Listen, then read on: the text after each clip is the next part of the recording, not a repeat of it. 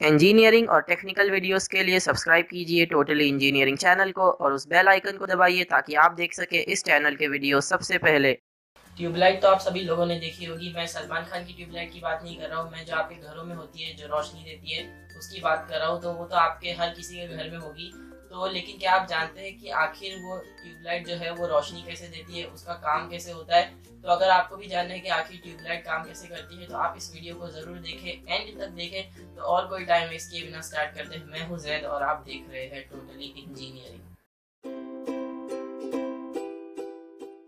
आप लोग ट्यूबलाइट को नॉर्मली ट्यूबलाइट कहते हैं, लेकिन उसका अगर साइंटिफिक नाम देखा जाए तो उसे फ्लोरोसेंट लैंप कहते हैं ट्यूबलाइट के कंस्ट्रक्शन में तीन मेजर कंपोनेंट्स यूज़ होते हैं, जो आपके सामने विजिबल भी होते हैं। पहला तो होता है ग्लास ट्यूब जिसके अंदर से जो अपनी लाइट है वो बाहर निकलती है। सेकेंड है चोक जो कुछ इस तरह का दिखता है, जो इंडक्टर का काम करता है।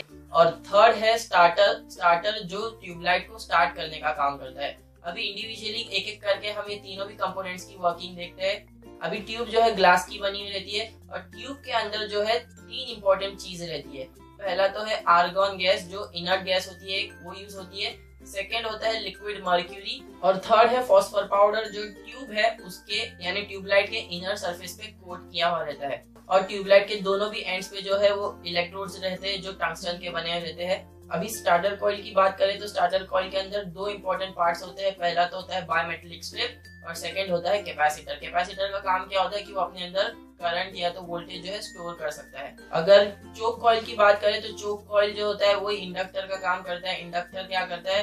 इंडक्टर अपने अंदर वोल्टेज स्टोर कर सकता है और फिर जब भी उसकी ज़रूरत पड़ी या तो सर्किट में कम ज़्यादा हुआ तो अपने अंदर से जो इंडक्टर है वो करंट या तो वोल्टेज सप्लाई करता है. तो इंडक्टर का काम यही है, उसके अंदर इंडक्टर का कंस्ट्रक्शन जो है वो भी कॉपर वाइंडिंग से बना हुआ रहता है। ट्यूबलाइट की जो वर्किंग है, वो जिस प्रिंसिपल पे काम करती है, उसे कहते हैं लुमिनेंस लुमिनेंस मतलब एक ऐसा सब्सटेंस जो लाइट इमिट करता है, जिसे हीट करने की ज़रूरत नहीं पड़ती है। और फॉस्फर भी यही काम करता है। फॉस्फर को बिना कोई हीट के वो लाइट प्रोड्यूस करता है। अभी सबसे पहले तो मैं आपको मेन ट्यूब यानी ट्यूबलाइट, जो ग्लास ट्यूब दिख रही है, वो कैसे लाइट प्रोड्यूस करती है, वो बता देता हूँ, क्योंकि उसका वर्किंग काफ़ी सिंपल है। जैसा कि मैंने बताया कि ट्यूबलाइट के अंदर तीन चीज़ यूज़ होती है पहला तो होता है आर्गन गैस सेकेंड होता है लिक्विड मर्क्यूरी और थर्ड होता है फॉस्फर जो ट्यूबलाइट के इनर सरफेस पे कोट होता है। और दोनों भी एंड साइड पे टंगस्टन इलेक्ट्रोड्स यूज़ होते हैं। ग्लास ट्यूब की जो वर्किंग में क्या होता है, आप जैसे ही स्विच यानी ट्यूबलाइट को ऑन करते हो तो जो वोल्टेज है एसी सप्लाई वो क्या होता है, दोनों भी साइड से जो टंगस्टन इलेक्ट्रोड है,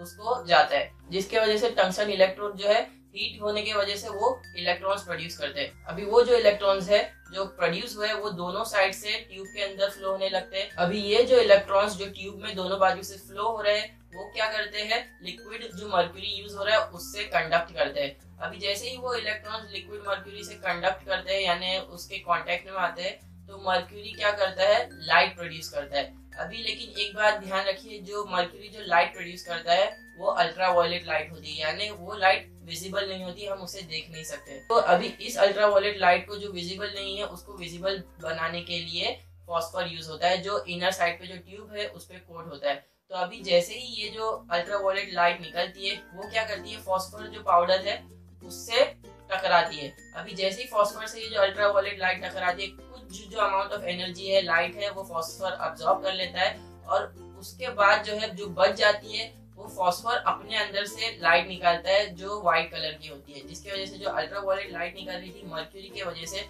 वो कन्वर्ट हो जाती है फॉस्फर के थ्रू व्हाइट लाइट में, जो आखिर में हमें विजिबल होती है। ट्यूबलाइट की जो ग्लास ट्यूब की वर्किंग थी, वो इतनी थी। लेकिन जो इम्पोर्टेंट काम होता है वो जो है स्टार्टर कॉइल करता है। अभी एक बात ध्यान रखिए मर्क्यूरी से जो लाइट निकलती है, वो लाइट निकलने के लिए हमें एक high amount of voltage supply करना पड़ता है, तभी जाके मर्क्यूरी से लाइट निकलती है। लेकिन हमारे घर में जो सप्लाई आता है, वो सिंगल फ़ेज़ सप्लाई होता है, जिसका 220 से 240 वोल्ट होता है। तो इसीलिए स्टार्टर कॉइल यूज़ होता है, क्योंकि मर्क्यूरी का जो स्टार्टिंग का आयनाइजेशन है, उसी को स्टार्ट करने के लिए हाई अमाउंट ऑफ़ वोल्टेज लगता है। बाकी का तो है, क्योंकि प्रोसेस होते जाता है तो करंट की या तो वोल्टेज की नीड जो है कम हो जाती है। लेकिन स्टार्ट करने के लिए हमें यानी मर्क्यूरी का आयनाइजेशन यानी मर्क्यूरी से लाइट निकालने के लिए हमें high amount of energy starting में सप्लाई करनी पड़ती है। तो अभी क्या होता है, आप जैसे ही स्विच ऑन करते हो तो जो एसी सप्लाई रहता है सिंगल फेस वो इलेक्ट्रोड्स में जाने के बजाय वो जाता है स्टार्टर कॉइल में। स्टार्टर कॉइल में दो इंपॉर्टेंट चीज़ होती है, एक होता है बायोमेट्रिक स्ट्रिप और सेकंड होता है कैपेसिटर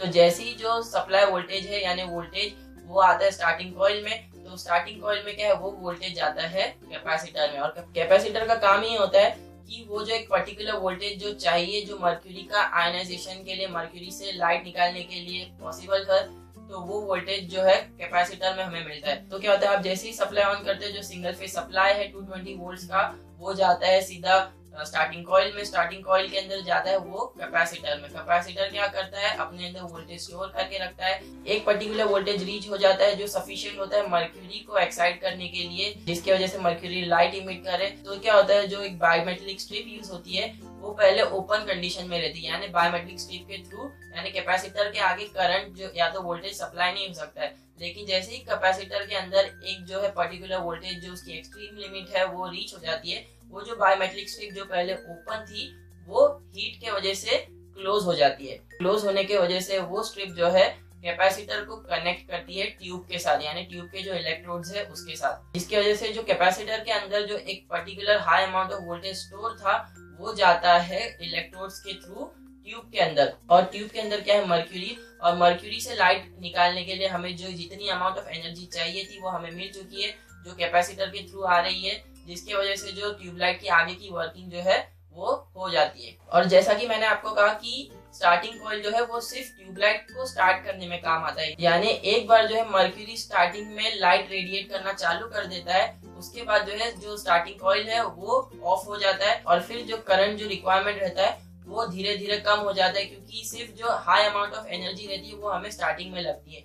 एक बार मर्क्यूरी को एक्साइट करने के लिए और फिर बाकी का जो प्रोसेस जो है, वो स्मॉल अमाउंट ऑफ़ एनर्जी यानी थोड़े से वोल्टेज में भी हो जाता है। चोक कॉइल जो है, जो इंडक्टर का काम करता है, उसका काम क्या है कि वो एक्सेस अमाउंट ऑफ़ एनर्जी को अपने अंदर स्टोर करके रखता है और कभी भी सर्किट के अंदर ज़रूरत पड़ी तो वो कम ज़्यादा करके उसको एडजस्ट कर लेता है। तो ये था मेरा एक सिंपल एक्सप्लेनेशन ट्यूबलाइट की वर्किंग को लेकर। अब मैं अपना वीडियो एंड करना चाहूँगा। आई होप आपको ये वीडियो पसंद आया हो। अगर आपको ये वीडियो पसंद आया तो प्लीज़ लाइक करें शेयर करें और कमेंट करें। और अगर आपने अभी तक मेरे चैनल को सब्सक्राइब नहीं किया है तो प्लीज़ सब्सक्राइब करें मेरे चैनल को। Do support my channel by subscribing to it thank you guys